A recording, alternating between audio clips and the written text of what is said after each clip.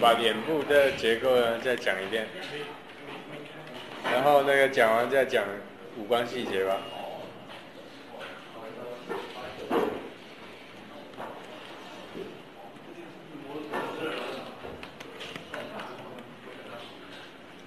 我用那个，那这个颜色先铺一下那这个头骨。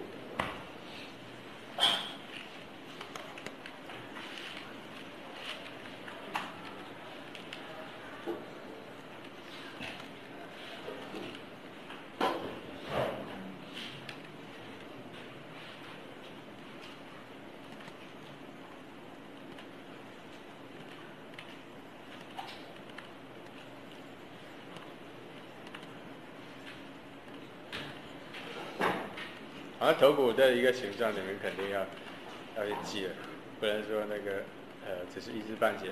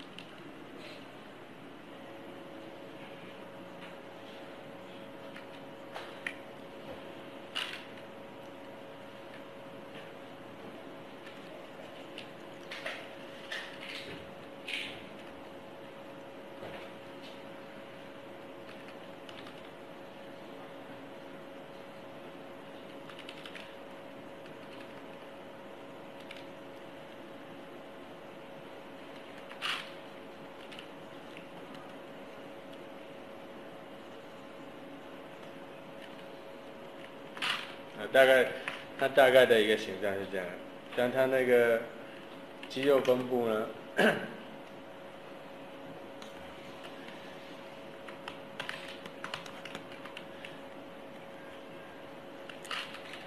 这边是有一块肌肉，然后这个肌肉是直接连到这里，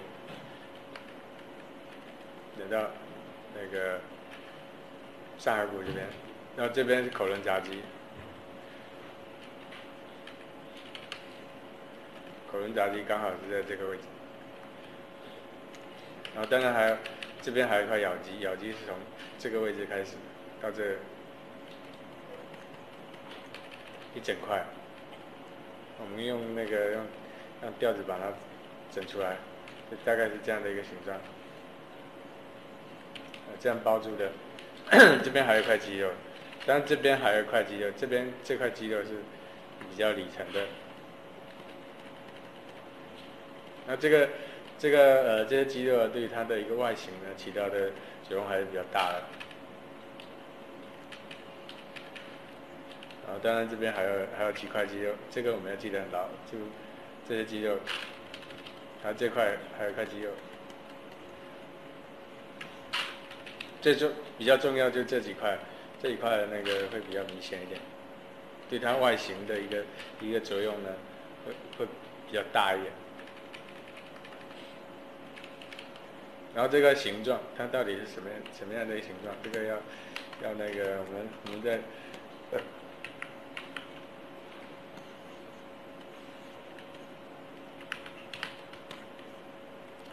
我用一个其他颜色把它铺出来，它是这样的一个形状，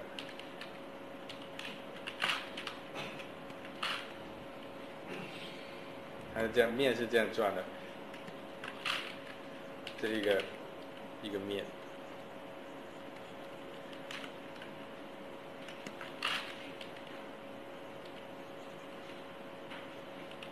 这个是这样转，然后这个有两个面的关系，这块是这样过来，这个是撞到这这边，然后这边是一个一是一个面，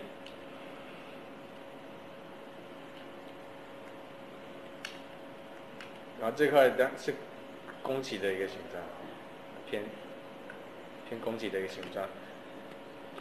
这个是有一个这样的一个面，然后我们可以从从这里开始呢，我们比如说我们分面是从基本上从这里开始，那我就就这个就这样的一个理解，我们我们呃整出一个。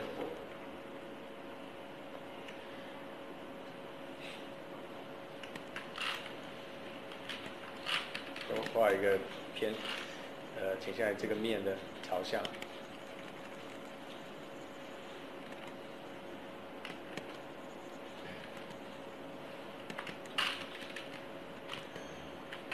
我把头发也画了。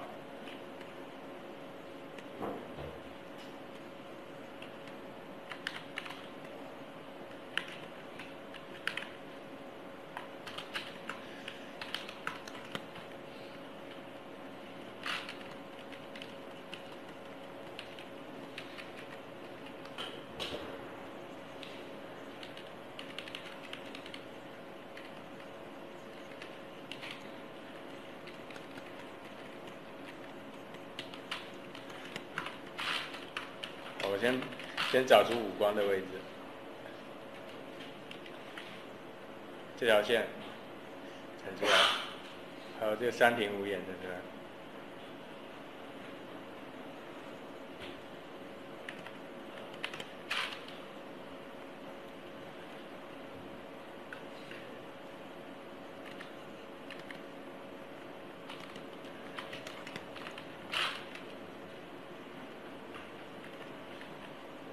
然后根据这样的一个理解，比如说颧骨，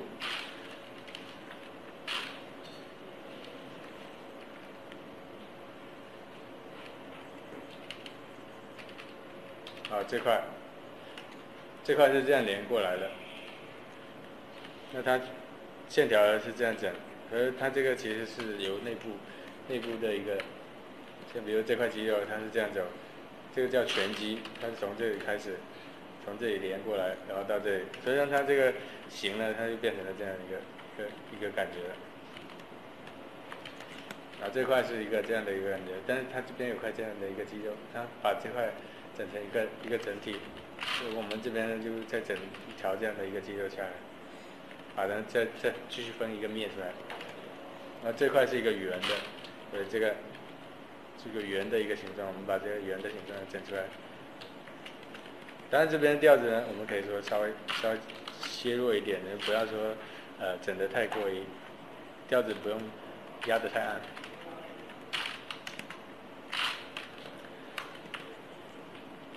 那鼓点刻一下，然后把这个大面给它分再分一下，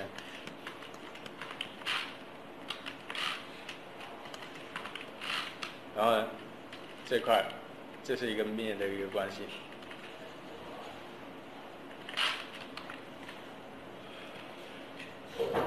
调子，我再讲一下。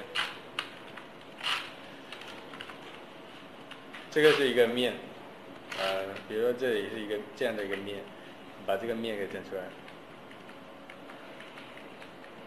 那当然还有下巴，下巴肯定是我们要压的一个点。但是下巴，它肌肉是这样走，这边肌肉是这样走的。但我们在刻画的时候呢，刻画的时候就。脖子是，呃，比如说它头部往下的话呢，它这块当然是没有看得很明显，所以但这边我们尽尽量说压暗一点，这边压一点，把这个头部跟脖子给拉开，因为它这个整体来都属于比较偏暗部的一个一个感觉。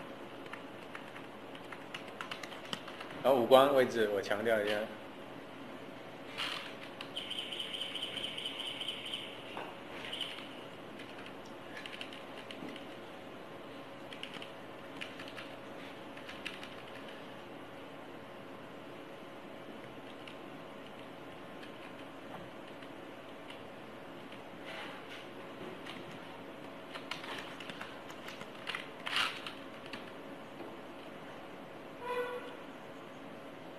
这边的线条根据它一个结构去走，这样一个结构，这块呃就其实就是变化比较小一点而已，我们偏画的比较偏美，偏向于嗯比较美型的那种感觉呢，就反正线条变化也是要有，但是变化可以小一点。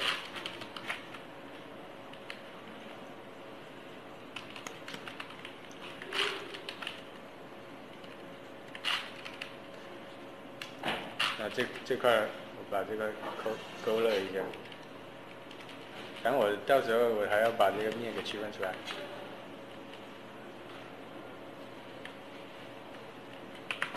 颜色饱和度高一点，这块呢，我可以再压一压。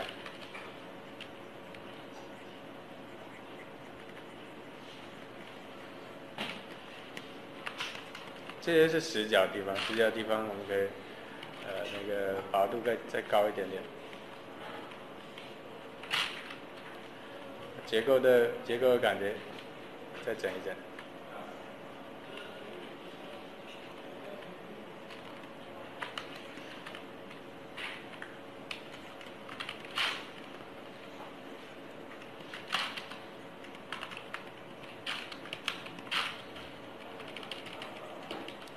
色，的呀，一开始铺的太亮，蓝，色的倾向不太够。啊，灰掉的地方，我让它再往红的靠一点。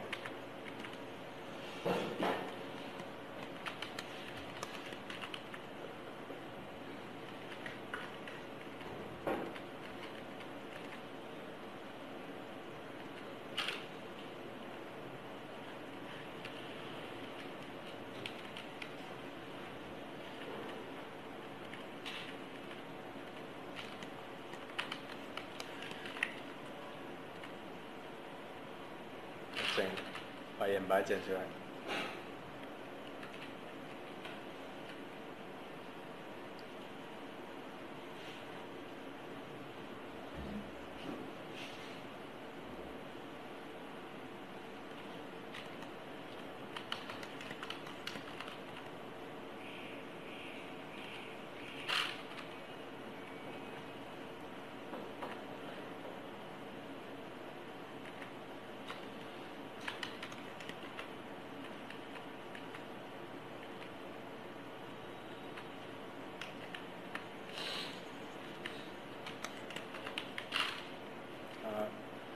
眼球的地方压压，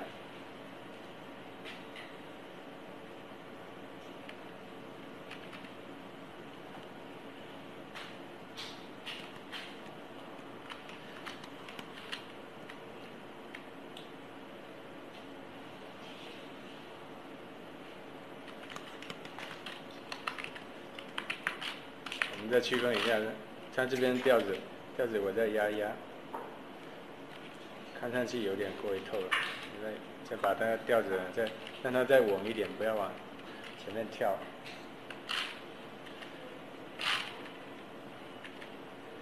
这块体量。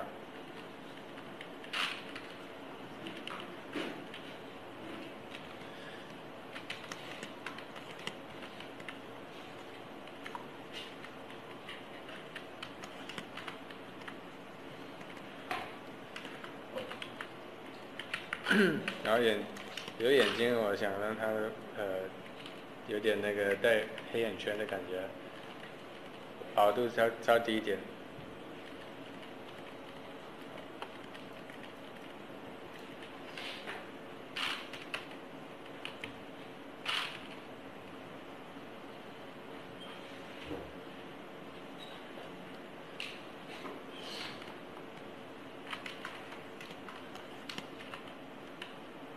然后画尽量画个偏内双的感觉就好，呃这样子，眼睛是这样的一个感觉。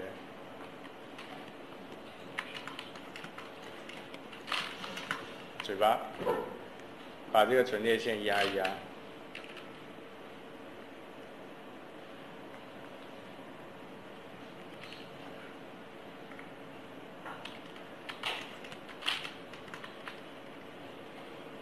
嘴唇呢有带有一定的颜色。调子偏红一点点，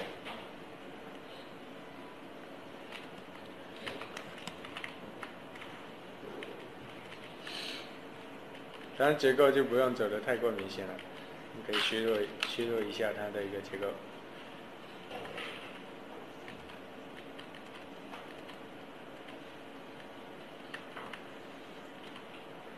这是两个面。这个提亮一点点。把这个这个面呢分分出来。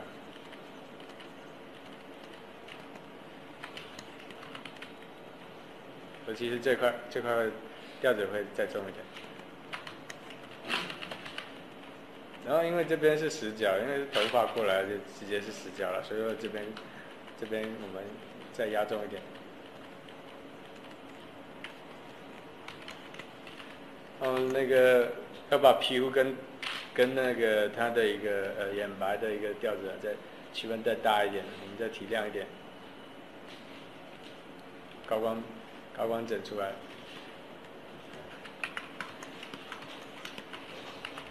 然后在那个提提到这边的一个反光的地方。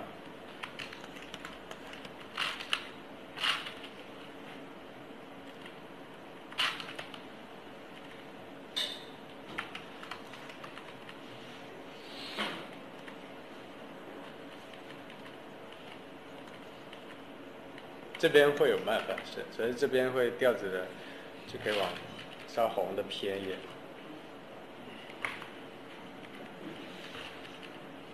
啊，这块也往红的偏，让它产生一定的慢反射。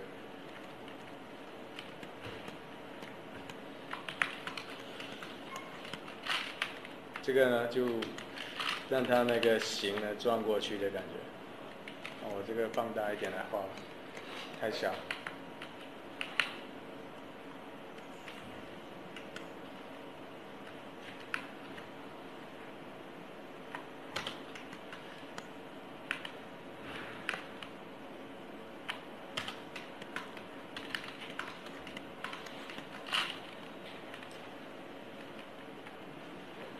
我画这个眼睛细节给你们看一下，首先它肯定会有一些睫毛的感觉，我们把这个睫毛感觉整出来。我这我这个是画的偏偏倾向于那种呃偏男性主角的那种感觉，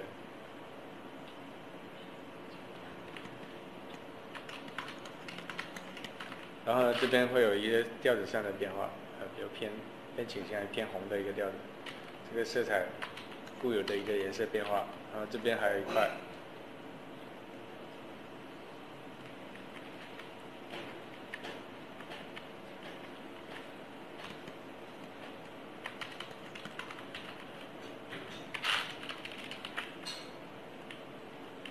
那这边的调子呢，可以说做做点那个色彩上的一个，呃，比如说偏偏灰一点的一个调子。强调它的一个黑眼圈的一个感觉，当然这个这看角色需要，不一定要你们都要每个都要画成黑眼圈。我是习惯于这样这样去画。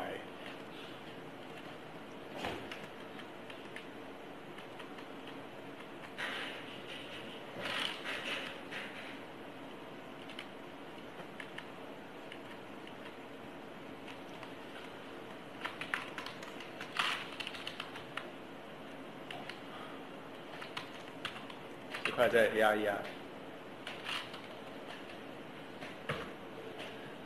把这个面压出来。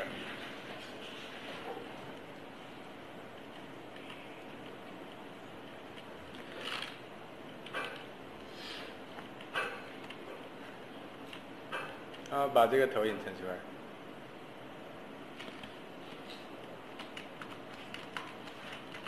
暗部呢，可以再压一压，把这个。调子再压一压，这块呢，我们加一些比较亮的一个，啊，整出这样的一个感觉。那这边调子呢，我就基本上呢统一在一个偏暖的一个调子，像比如说我这个，呃，我不会说用到很灰的一个调子去去整。当然我可以说让它那个调子更丰富啊，我就只需要说再压一压就可以了。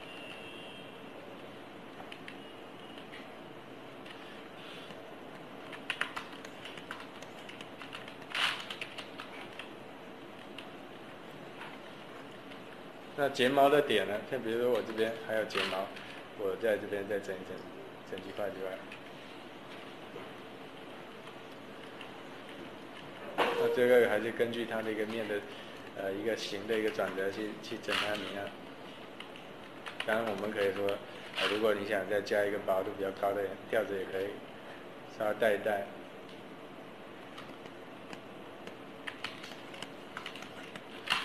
然后我们这个这边有这样的一个面的变化。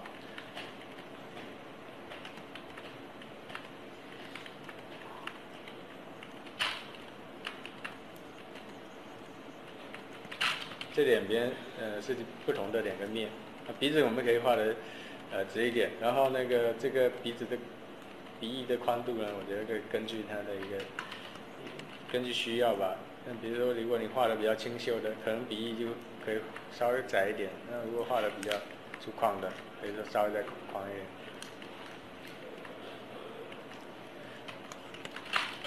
然后结构。结构反正就是，呃，把这个这些结构削弱掉，但是我们要把五官刻画清楚。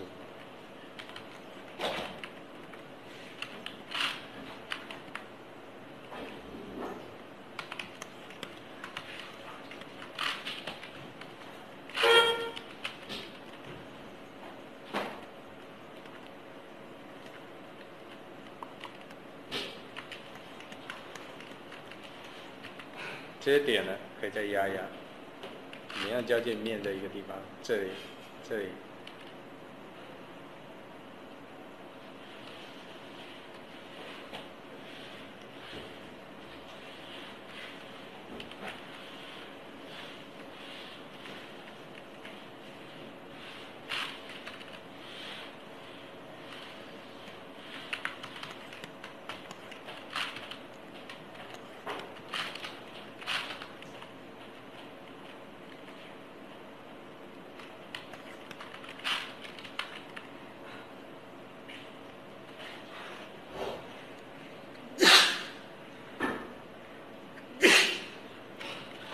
嘴唇就红一点，嘴唇往这个它固有色的一个呃调子变化，稍微再红一点点。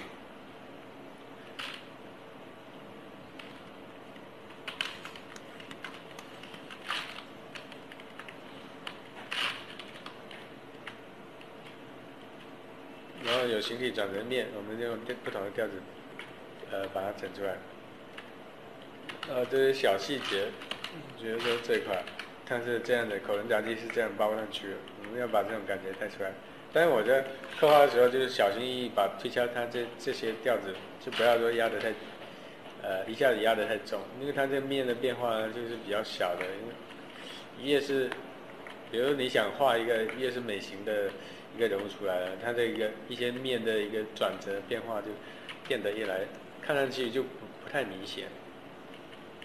那明显的话就长得比较粗犷。看着比较丑，然后你那个就就在刻画的时候，就是那个要注意一下像这样一个变化。啊，这个这还还有一定的细节，比如说这块，这边，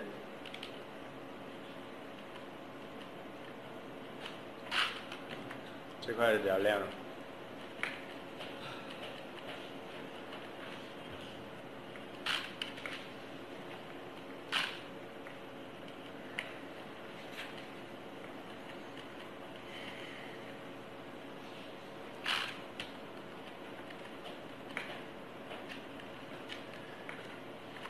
嘴唇就不用也不用画的太厚，就嘴唇薄一点。唇裂线呢，嗯，稍微薄度再高一点，让它有一定的透光的感觉。这块呢，也是从这个角度来来看呢，看到一点点，然后这块就稍微带点透光的效果。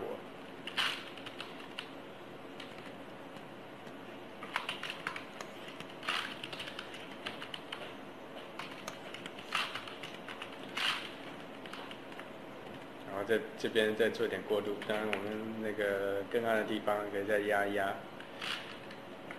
根据色彩的温度变化呢，这边会往偏红的调的倾倾向靠，然后这边就往偏橘黄的一个调的。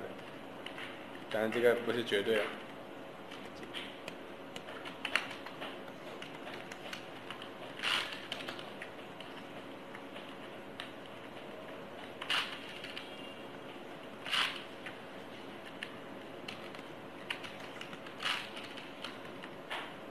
后这边再继续分面，把这个面分出来。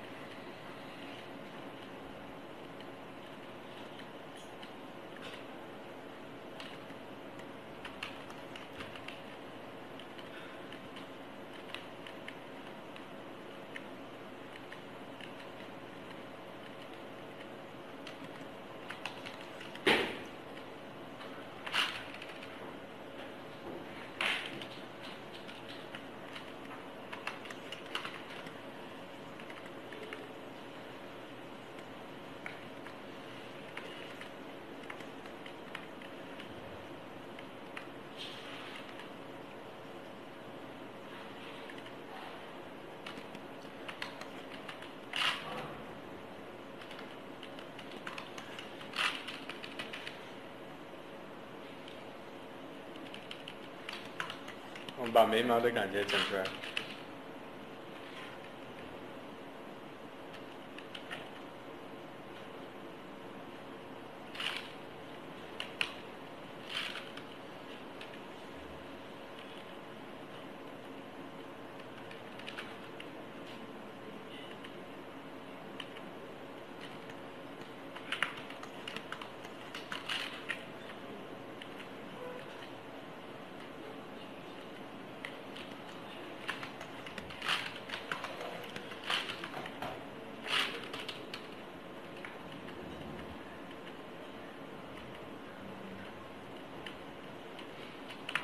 我那个呃嘴唇的高光整出来。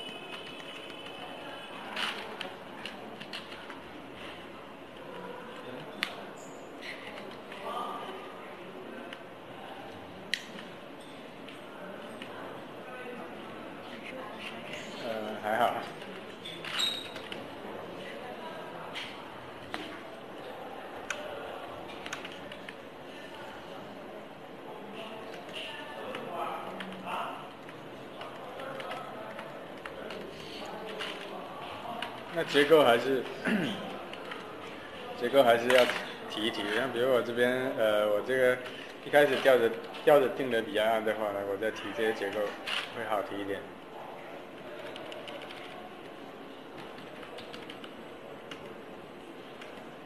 高光高光提一提。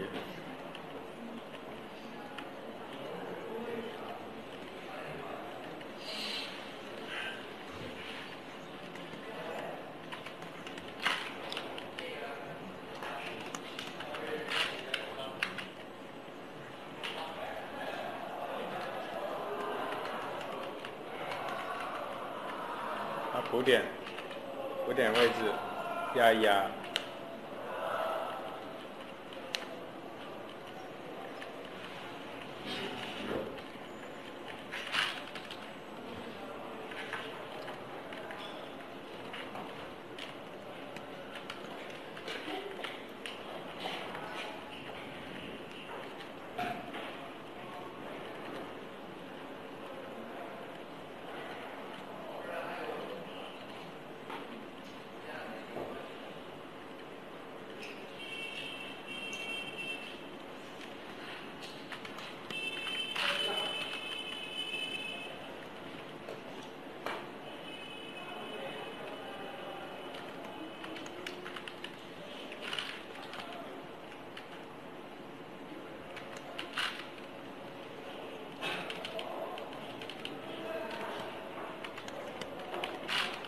把头发整一下。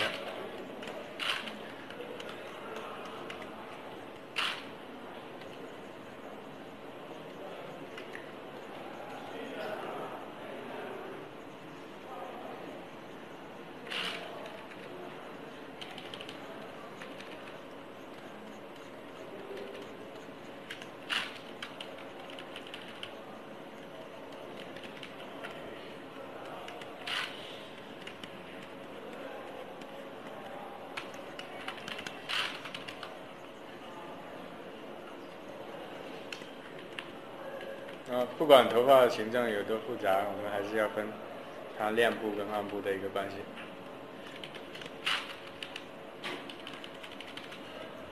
可以说饱和度可以稍微再提，就是稍微高一点，比亮部还要高。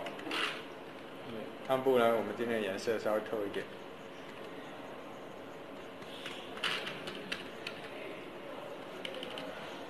先把大面分身分出来。大的一个面。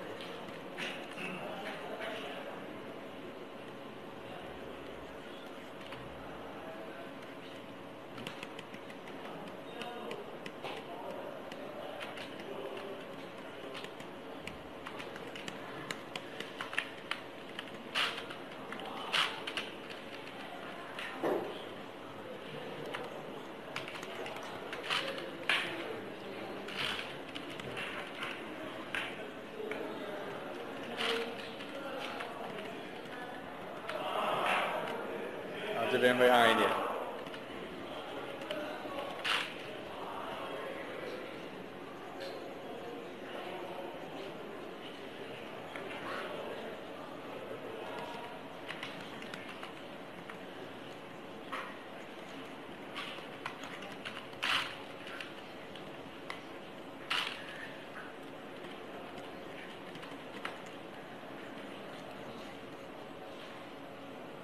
然后头发有一波三折的感觉，要要整出这样的一个感觉。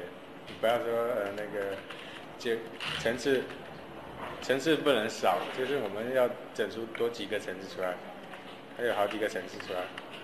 然后还有一个就是它的形状上的一个变化。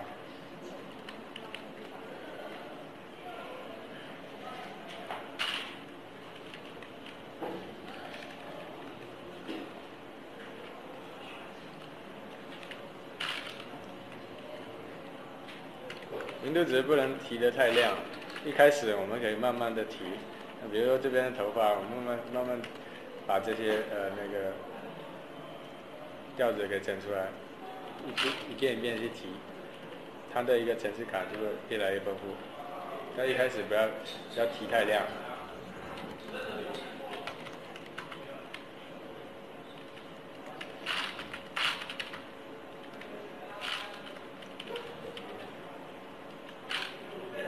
然死角地方压压。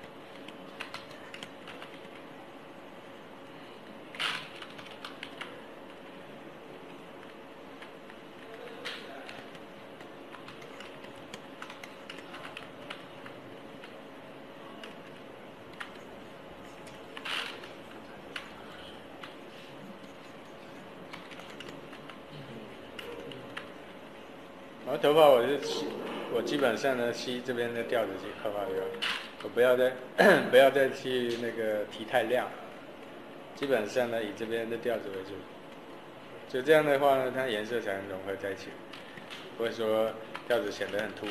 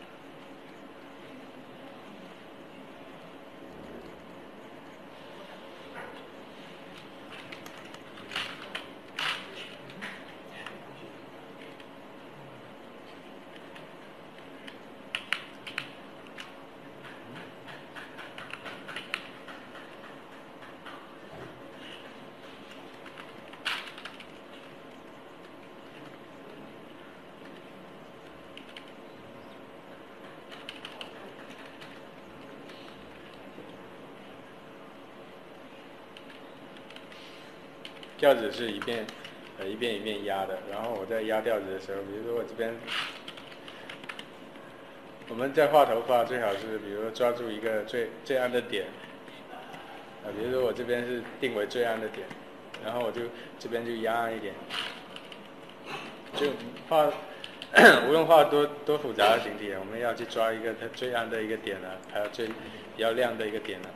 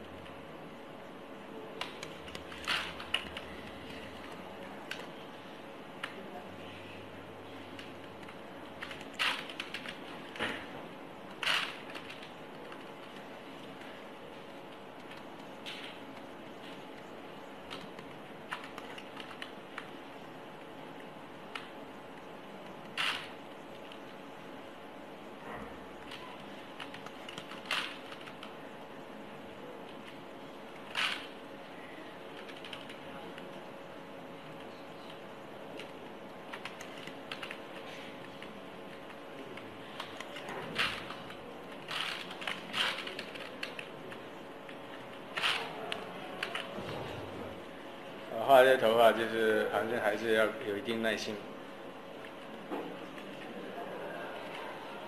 一根一根去描绘吧。但我们可以也可以说那个整体一点去刻刻画，不需要说刻画这么太细也可以。那整体刻画就大概把这些大面给分出来，然后在亮部的地方呢刷上几笔就好了。